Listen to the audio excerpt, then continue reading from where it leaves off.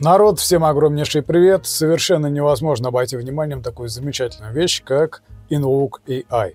Одна из самых продвинутых программ по нейросетям на сегодняшнее время. Многие из вас, наверное, уже о ней слышали, ну а те, кто про нее не знает, сейчас я вкратце покажу, что она умеет, какие функции, какие возможности она может дать для обработки изображений.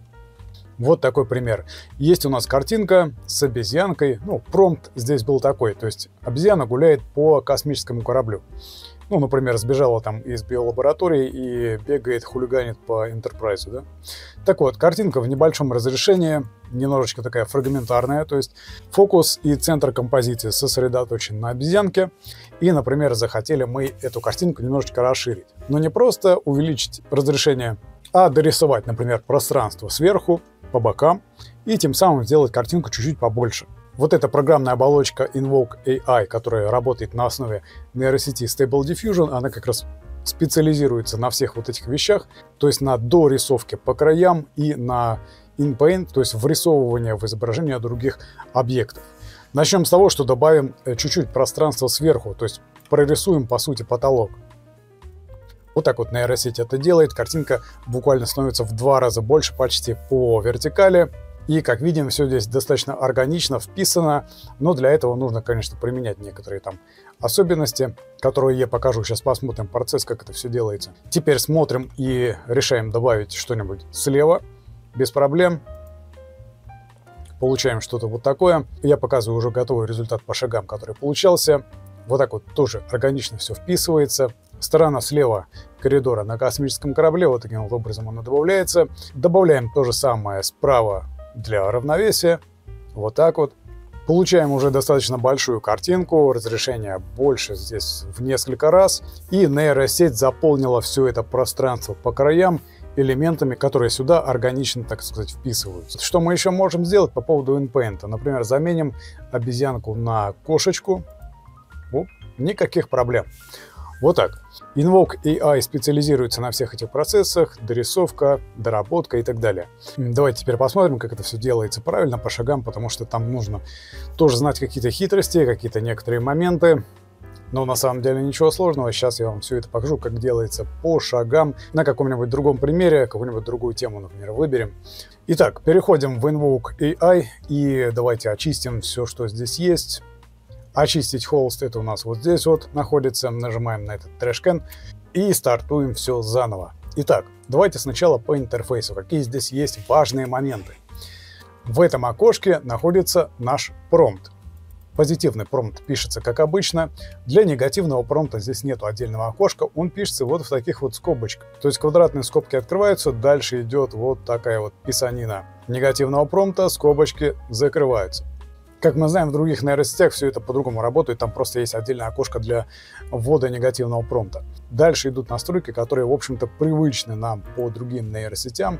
Здесь количество изображений, шаги, уровень CFG – это уровень следования запросу, промпту, Набор стандартных сэмплеров, то есть доступен LRA. Для наиболее быстрой отрисовки, конечно же, мы сейчас будем делать это на маленьком количестве шагов, и LRA нам как раз пригодится для этого. Сила обработки image to image – это насколько сильно будет нейросеть следовать к примеру, с другой картинки, которая уже есть на холсте, то есть под нее подстраивать что-то. Здесь, конечно, лучше всего выставлять все на максимум, если у вас нет каких-то специфических задач сильно что-то поменять внутри картинки.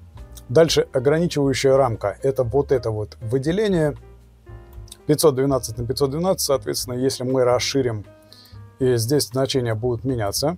Давайте сразу сделаем что-нибудь такое широкоформатное.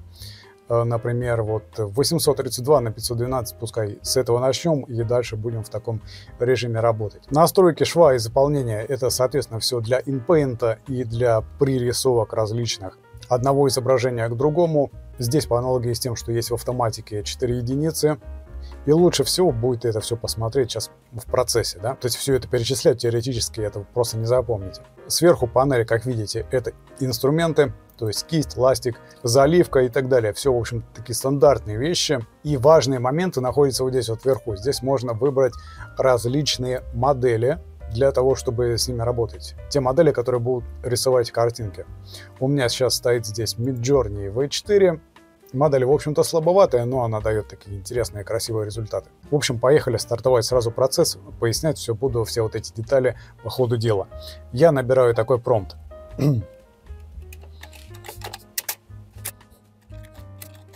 Давайте попробуем вот так вот. Медведь гуляет в лесу, э, рисованный стиль, э, бай Шишкин. Нажимаем на Invoke для того, чтобы началось рисование.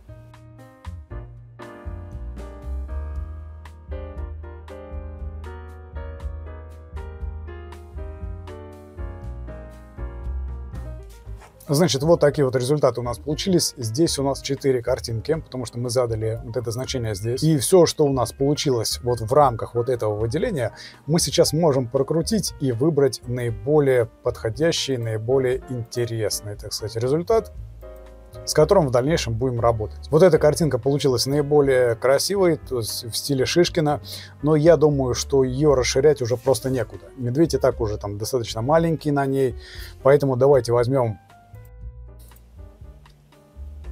вот эту картинку и попробуем с ней поработать, ее расширить. Для этого я нажимаю вот здесь вот галочку Accept, принять. Кстати, видите, интерфейс переведен на русский, то есть там в команде у них русский энтузиаст переводит интерфейс. Вокруг медведя здесь такой вот зеленый глоу, который мне, конечно, не очень нравится. Можно попробовать еще раз нажать в рамках этой картинки на Invoke и попытаться чуть-чуть изменить этот результат. Давайте попробуем это сделать. Медведь уже встал на задние лапы. Попробуем чуть-чуть уменьшить уровень CFG до 18 и попробуем еще разочек. Ладно, вот такой вот вариант, э, в принципе, подойдет. Хоть здесь он достаточно сильно изменился. Я нажимаю Accept, и теперь так же, как на том примере с обезьянкой, отрисуем верхнюю часть этой картинки. Начнем с того, что сверху в запросе я уберу медведей. Здесь я беру, передвигаю верхнюю границу повыше. Снизу оставляю немножечко вот такую часть. Или даже можно чуть-чуть побольше. Вот такую часть я захвачу.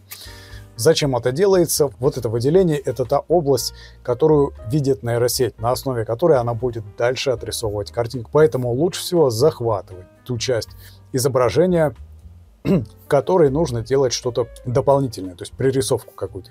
Дальше выбираю кисть, здесь выбираю слой с маской. Закрашиваю верхнюю часть вот таким вот достаточно жирным размером кисти. Закрашиваю также все остальное. Закрашенная часть будет подвергаться изменениям. И для того, чтобы это более гармонично сработало, я нейросети, по сути, говорю, Окей, вот эту часть можешь перерисовать, но все, что снизу, это не надо трогать, не надо здесь ничего портить. Будем работать только вот на этой верхней части. Снова выкручиваю количество изображения до 4. Размер шва можно повысить до 32, можно даже, наверное, чуть побольше, но пока попробуем, пока оставим так. Нажимаем Invoke, смотрим на варианты.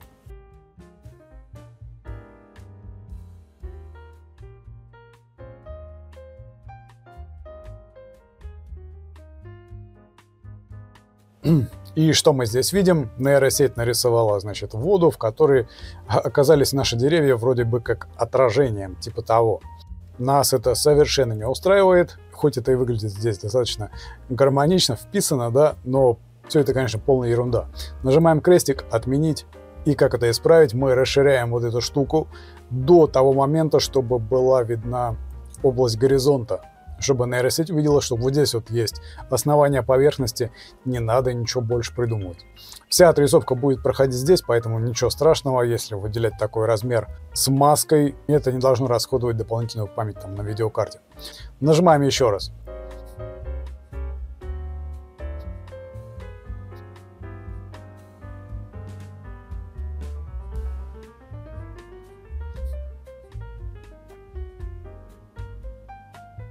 Смотрите, совершенно другой результат. Ни на одном из четырех вариантов больше такого не повторилось. То есть дополнительно поверхность Земля не прорисовывалась больше. Так, что мы выберем?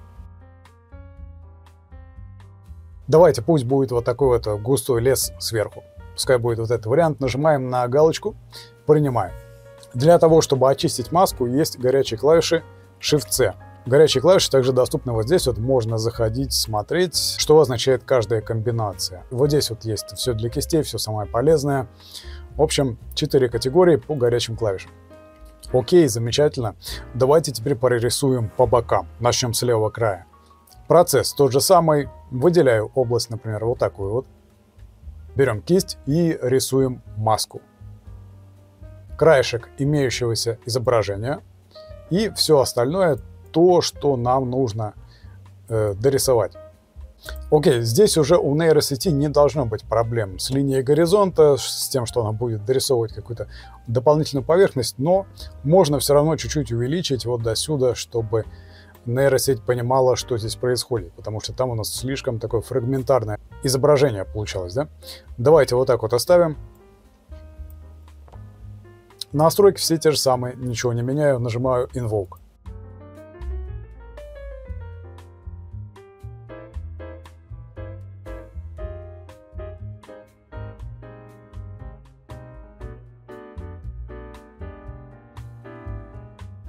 Итак, у нас готовы 4 варианта. Вот здесь, вот в этом месте, вы как раз можете видеть небольшой шовчик. Это именно то, за что отвечают настройки вот в этой вкладке. Их изменения, то есть здесь сейчас стоит 32 пикселя на размытие, можно было поставить побольше. Они за все это дело отвечают. Но это все для экспериментов э, в каждом отдельном случае, то есть ведет себя по-разному. Здесь уже просто, если вы видите какой-то шов, если он вам не нравится, меняйте немножко настройки, пробуйте. Ну, а мы, наверное, возьмем какой-нибудь другой вариант вообще. Вот здесь прорисовано нормально. Также здесь и вот здесь. Я возьму вот этот вариант без тропинки. Нажимаю на Accept и очищаю маску. Выглядит неплохо, выглядит достаточно органично, но давайте попробуем избавиться вот от этого свечения, которое есть на земле. Для этого мы сейчас воспользуемся несколькими этапами. Значит, помимо того, что мы закрасим вот это место маской, мы также переключимся на слой базовый, сделаем кисть чуть-чуть поменьше. И с помощью пипетки мы здесь попробуем нарисовать вот под цвет травы, вот эту область закрасить. То есть свечение нам здесь отсюда нужно убрать и желательно заменить его просто травой затемненной, так сказать. Пусть эта область будет немножечко в тени, а в центре внимания пускай остаются медведи. Вот эту область можно чуть-чуть снизить, чтобы процесс шел быстрее. Нажимаем Invoke, смотрим, что нейросеть нам предоставит.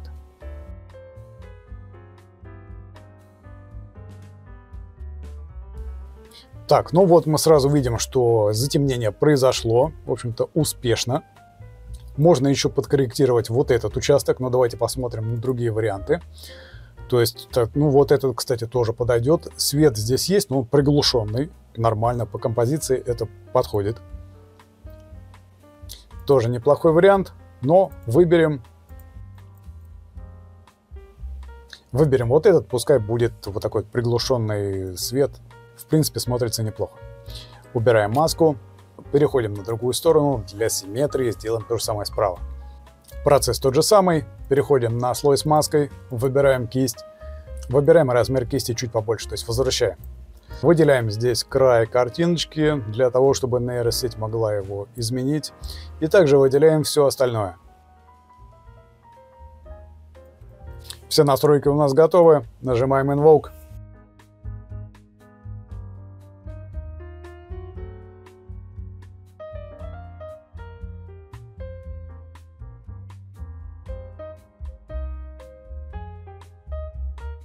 Ну и начнем разбираться с тем, что у нас здесь происходило с уровнем горизонта. Я видел где-то в первых картинках э, что-то такое непонятное произошло. О, смотрите, первая картинка, линия горизонта выбилась наверх. Понятно, что нас такой результат не устроит, но, блин, как же красиво это все выглядит по цветовой гамме. Только посмотрите на это.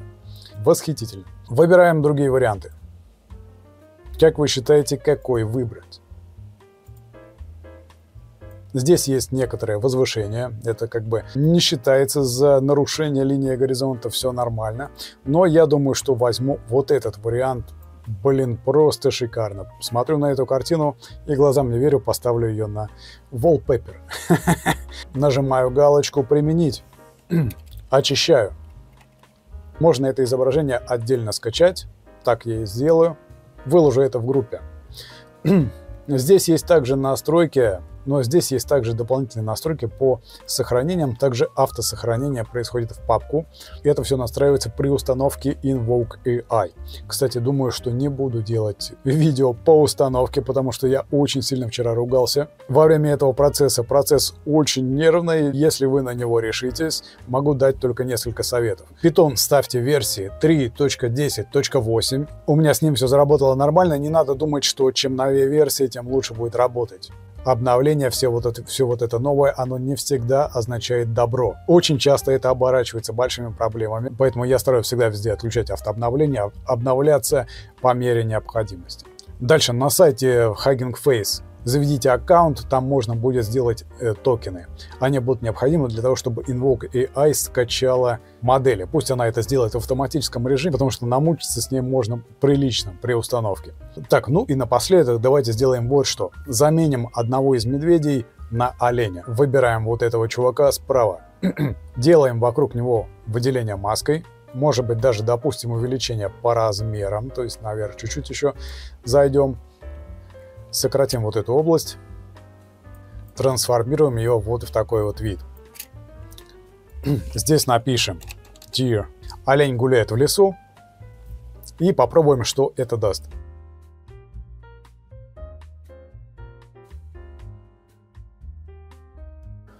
Так, у нас появились какие-то варианты. Здесь олень немножечко сплющенный. Здесь он пытался вылезти за размеры маски. Здесь слишком маленький, ну и здесь тоже он вылез за размеры маски, ничего из этого нам не подходит. Давайте немножко увеличим размер маски, раз уж такое дело, раз уж нейросеть посчитала, что такие масштабы, может быть, мелковатые. И давайте попробуем еще раз.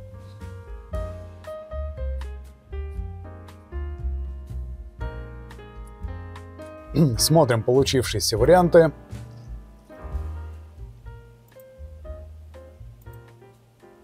Я думаю, остановимся на вот этом. Давайте посмотрим на то, что здесь у нас происходит еще с рогами. Попробуем сделать небольшую детальную проработку. То есть возьмем, сначала нажмем Accept, сделаем кисть поменьше, выделим вот эту вот часть, из запроса уберем оленя и посмотрим, исправит ли это ситуацию.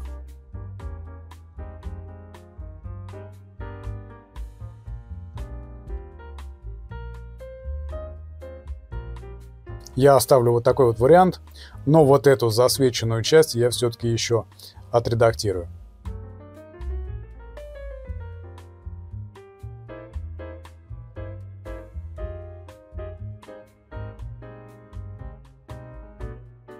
Ну и я думаю, мы остановимся вот на этом варианте. Вот так вот, ребята, у нас получилось вот такое вот полотно. Размер картинки 1600 на 896. То есть вполне прилично. Можно вставить какой-нибудь апскейлер, увеличить изображение. Можно даже в самих нейросетях это сделать. Процесс работы в InvoKai, в общем-то, не очень-то и сложный. Сама эта штуковина достаточно полезная. Направление вот этих всех дорисовок InPaint, в общем-то, топовое на сегодняшний день. Ну а как появится что-нибудь получше, конечно же, проверим, протестируем. На этом все, ребят. Благодарю всех, кто ставит лайки подписывается. Всем удачи, всем покедова.